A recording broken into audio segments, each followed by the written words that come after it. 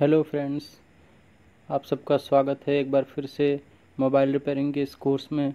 आज का जो हमारा टॉपिक है, वो कॉइल पर है। मोबाइल में जो यूज़ होने वाला कॉइल है, वो कैसा होता है? वो ब्लैक कलर का आपको मिलेगा, ब्राउन कलर का मिलेगा।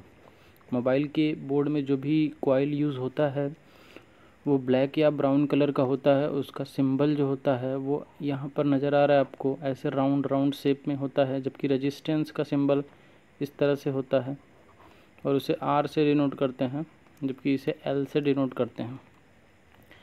इसमें सप्लाई एक साइड से इन होती है तो दूसरे साइड से आउट होती है। ठीक है? सप्लाई एक साइड से इन होती है तो दूसरे साइड से आउट होती है। ये होता है कॉइल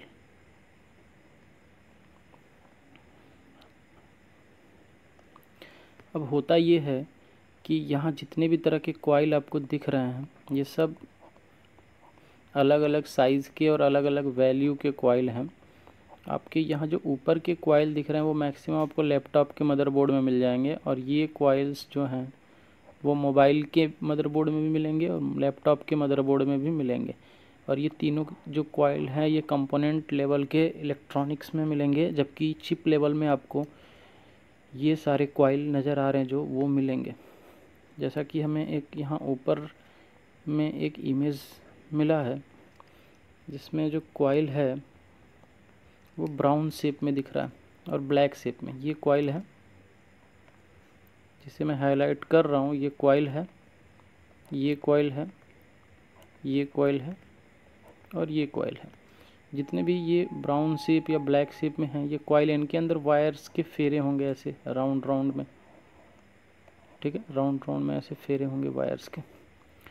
तो कहने का मतलब ये है कि जो भी कॉइल होता है, उसमें सप्लाई एक साइड से इन होती है, दूसरे साइड से आउट हो जाती है। ये उन स्टूडेंट्स के लिए है, जो साइंस साइड के स्टूडेंट नहीं हैं, जो उतना ज़्यादा पढ़े लिखे नहीं हैं और मोबाइल रिपेयरिंग सीख रहे हैं तो उनके लिए इतना बस जानना है कि सप्लाई एक साइड से इन होती है और दूसरे साइड से आउट होती है। और अगर ये कॉइल किसी आईसी के साथ कनेक्ट है डायरेक्टली तो ये कॉइल सप्लाई को बूस्ट भी कर देती है। बूस्ट का मतलब है कि अगर इधर से फोर बोल्ट जाती है तो आउट होने वाली सप्लाई फोर बोल्ट से मैक्स होगी फोर बोल्ट से ऊपर होगी। ठीक है? बूस्ट का मतलब ये होता है कि फोर बोल्ट से बड़ा वोल्टेज आउट करेगा। हो सकता है टेन बोल्ट आउट करे, हो सकता है ट्वेल्व बोल्ट आउट करे, हो सकता है ट्वेंटी बोल्ट आउट करे, हो सकता है ट्वेंटी फाइव बोल्ट आउट करे। वो डिपेंड करता है कि जो कॉइल है, वो कितने वैल्यू का है। और उसके साथ जो आईसी लगी है, वो इस कॉइल से सप्लाई को कितना बूस्ट करना चाहती है। ठीक है? तो क्वाइल जो होता है चिप लेवल में आपको ऐसा दिखेगा। या फिर अभी जो ऊपर इमेज में दिखा आपको ब्राउन शेप में, वैसा होगा। ठीक है? तो ये ऐसा बस इतना जानिए आप लोग। जो स्टूडेंट साइंस स्ट्रीम के नहीं हैं, वो इतना जाने कि सप्लाई एक साइड से इन करेगी, दूसरे साइड से आउट करेगी। और सप्लाई जब दूसरे साइड से आउट करेगी तो अगर किसी आईसी से कनेक्टेड कॉइल है बूस्ट कॉइल है ये तो सप्लाई बूस्ट करेगी बूस्ट कॉइल नहीं है तो जो वोल्टेज इन करेगी, चार वोल्ट इन करेगी तो चार वोल्ट आउट भी कर जाएगी। ठीक है? तो आशा करता हूँ आपको ये कॉइल पहचानने में कोई दिक्कत नहीं होगा। यहाँ कॉइल आपको दिख रहा है। कॉइल में क्या होगा, दोनों साइड हम कह सकते हैं कि प्लस ही है, क्योंकि एक साइड से सप्लाई इन कर रही है तो दूसरी साइड से आउट कर रही है। एक साइड से इधर इन कर रही है तो दूसरे साइड से आउट कर रही है इस डायोड पर।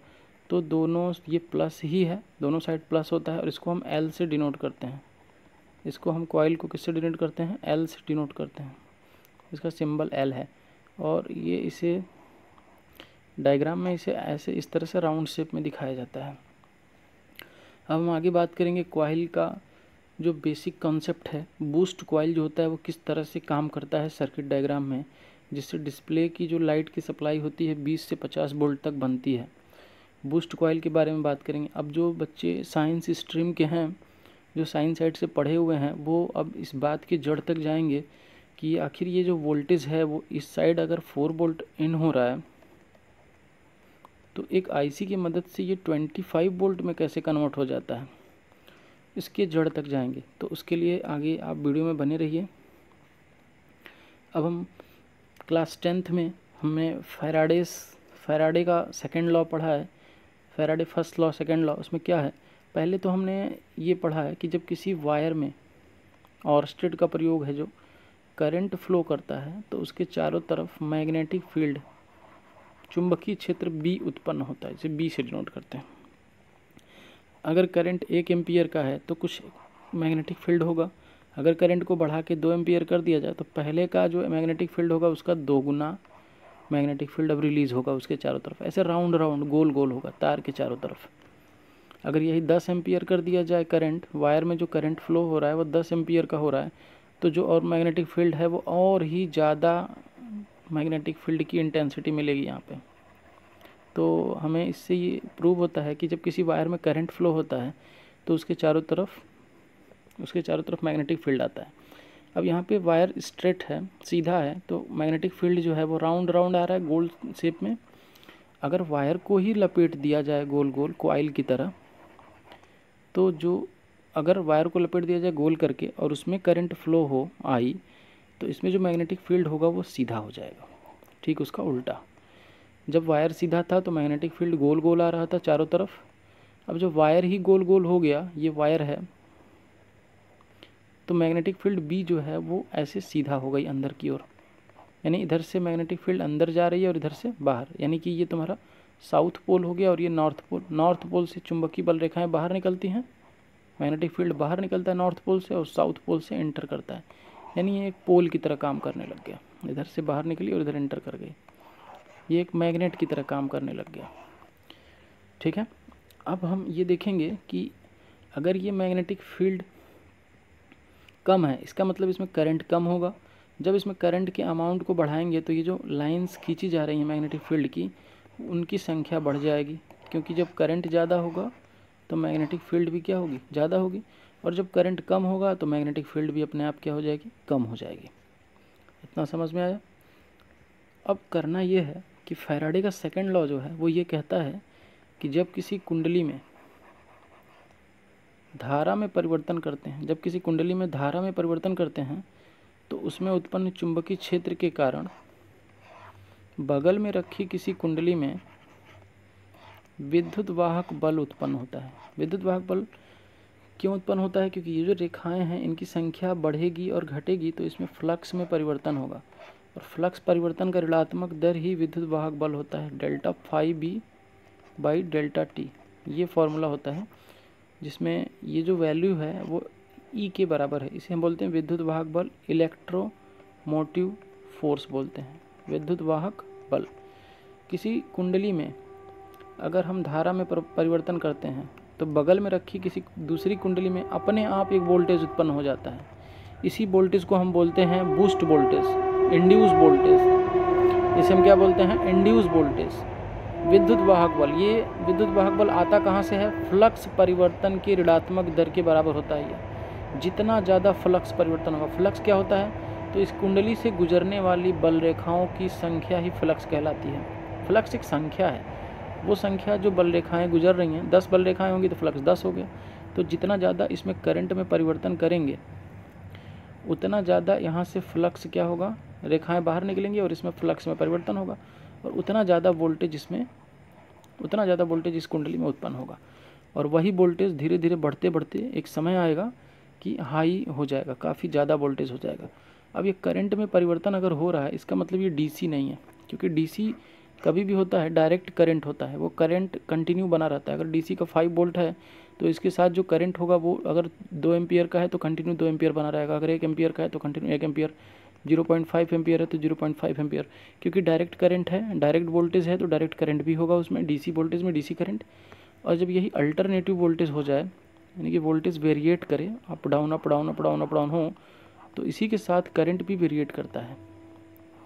इसी के साथ करंट भी क्या करता है? वेरिएट इसका मतलब कि अगर हम इसमें डीसी वोल्टेज की जगह एसी वोल्टेज दे कॉइल में तो इसमें करंट में परिवर्तन होगा। और ये एसी वोल्टेज की वजह से बगल में रखी कुंडली में अपने आप कुछ वोल्टेज आ जाएगी एसी वोल्टेज और वो वोल्टेज प्रीवियस वोल्टेज में ऐड होती चली जाएगी, जिससे वोल्टेज इस बगल रखी कुंडली में भी आएगी और इस स्वयं की कुंडली में भी वो वोल्टेज उत्पन्न होगी, क्योंकि इसमें भी तो फ्लक्स पास हो रही है। तो ये जो वोल्टेज है, वो इस प्रीवियस वोल्टेज से जो भी वोल्टेज यहाँ लगाया गया है, उसमें ऐड होती जाएगी और वोल्टेज धीरे धीरे बूस्ट हो जाएगी। तो इस बात को हम समझेंगे कि जब कॉइल आईसी के साथ लगी होती है तो क्या होता है? जैसे सपोज़ कर लो, ये एक आईसी है। इसमें ये दोनों प्लस पिन है। और ये दोनों ये दोनों आपस में कनेक्ट हैं, ये माइनस पिन है। और यहाँ पे फीडबैक और यहाँ पे ई एन इनेबल। जैसे ही इस आईसी को इनेबल सप्लाई मिलेगी, और इन दोनों से एक कॉइल कनेक्ट होगा।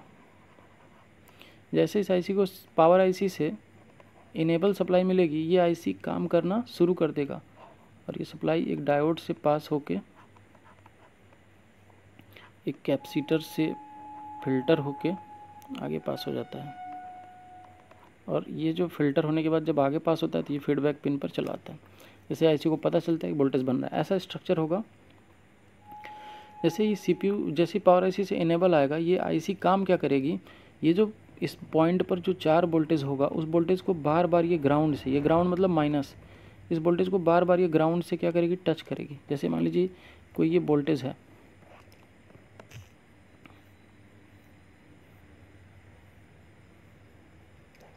अच्छा मान लीजिए यहाँ पे वोल्टेज है कोई, ये ज़ीरो लाइन है एक्स एक्सिस है, यहाँ अगर टेन वोल्ट है, फाइव वोल्ट है, कितना वोल्ट है? Five volt. अगर ये प्लस फाइव वोल्ट है, जैसे ही आईसी इस फाइव वोल्ट या फोर वोल्ट को ग्राउंड से टच करेगी तो वो डायरेक्टली ड्रॉप होने लगेगी। और ड्रॉप होके क्या हो जाएगी? ज़ीरो ज़ीरो वोल्ट पे आ जाएगी। और फिर जैसे इसको छोड़ेगी शॉर्ट ये शॉर्ट जैसे हटेगा, फिर से ये क्या होगा? अप होने लगेगी। फिर डाउन होगी, फिर अप होगी, फिर डाउन होगी। तो ये आईसी बार बार इस फोर वोल्ट को ग्राउंड से टच करेगा, छोड़ देगा टच करेगा, छोड़ देगा टच करेगा, छोड़ देगा टच करेगा, छोड़ देगा टच करेगा, छोड़ देगा। तो ये वोल्टेज क्या होगा? Up down up down up down होता रहेगा तो ये एसी बन जाएगा। तो ये आईसी कुछ करती नहीं है, बस आईसी क्या करती है? एक इनेबल सिग्नल आने पर ये फोर वोल्ट बैटरी की जो सप्लाई है, उसको ग्राउंड से बार बार टच करती है। जिससे क्या होता है? ये एसी वोल्टेज बन जाता है इधर, और ये एसी वोल्टेज इस कॉइल में जाता है। तो एसी वोल्टेज में जैसा वोल्टेज वैसा ही करंट करंट भी वेरिएट करेगा अप डाउन अप डाउन होगा। तो जब इस कुंडली में करंट में परिवर्तन होगा तो इसमें जो चुंबकीय क्षेत्र उत्पन्न होगा, वो कम होगा और ज़्यादा होगा, कम होगा और ज़्यादा होगा। जिससे क्या होगा? इसमें एक विद्युत वाहक बल उत्पन्न होगा और ये एक वोल्टेज होता है। और ये वोल्टेज इस प्रीवियस वोल्टेज से जो चार वोल्ट है, उससे में ऐड होता चला जाएगा पर सेकेंड जिससे क्या होगा? ये वोल्टेज बढ़ता चला जाएगा, बढ़ता चला जाएगा, बढ़ते बढ़ते बीस वोल्ट या पच्चीस वोल्ट या पचास वोल्ट जैसा ये आईसी चाहेगा। जितनी बार ये आईसी इसको प्लस माइन प्लस को माइनस से जितनी बार ये एक सेकंड में टच करेगा, उसी के अकॉर्डिंग वोल्टेज बनेगा। या तो 20 वोल्ट या तो 25 वोल्ट या तो 50 वोल्ट वो वोल्टेज बनेगा जैसे वो एसी होगा, क्योंकि एसी इन कर रहा है तो एसी बनेगा ना। और वो एसी डायोड से पास होके डीसी में बदल जाएगा और वो आपका एलईडी का एनोड होगा। एल ई डी का एनोड सप्लाई होगा, यानी प्लस सप्लाई होगा, जो कि 25 वोल्ट तक हो सकता है। जैसा डिस्प्ले होगा वैसा।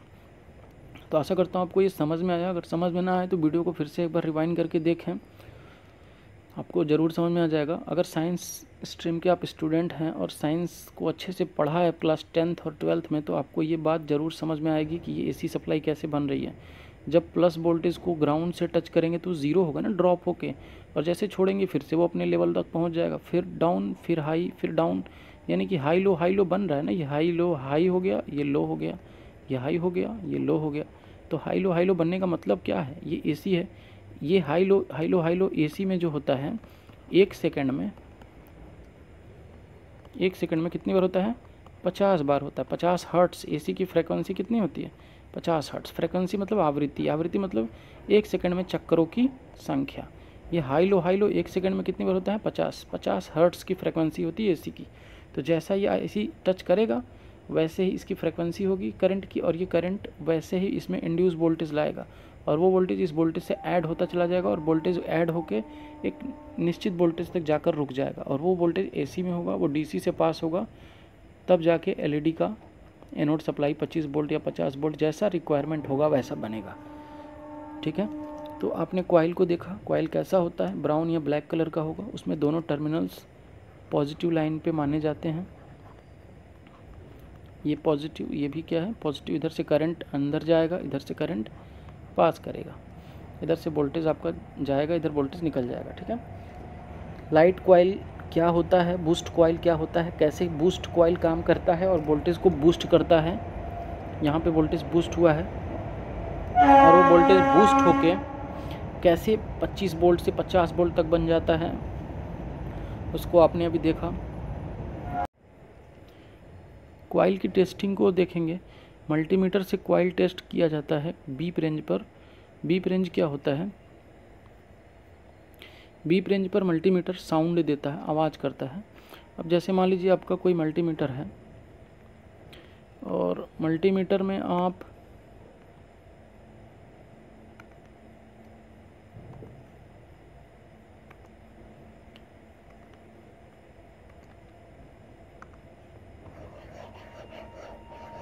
दो वायर्स होती है मल्टीमीटर में। किसी एक वायर्स, किसी एक वायर को आप लीजिए कंटिन्यूटी रेंज पर कर कर, किस रेंज पर? बीप रेंज पर कर कर, किसी एक वायर को आप इधर टच करो और दूसरे वायर को इधर टच करो। अगर ये साउंड करता है मल्टीमीटर से साउंड आता है, इसका मतलब ये कॉइल सही है, क्योंकि ये कॉइल वायर का ही फेरा है, जिसमें ऐसे लपेटा गया है वायर इधर से अगर वायर कनेक्ट है इस साइड तो ये कॉइल सही है। तो इधर एक पिन लगाएँगे, मल्टीमीटर का, और एक पिन इधर लगाएँगे। अगर आवाज़ करता है तो वो कॉइल सही है, अगर आवाज़ नहीं करता है तो वो कॉइल ख़राब है।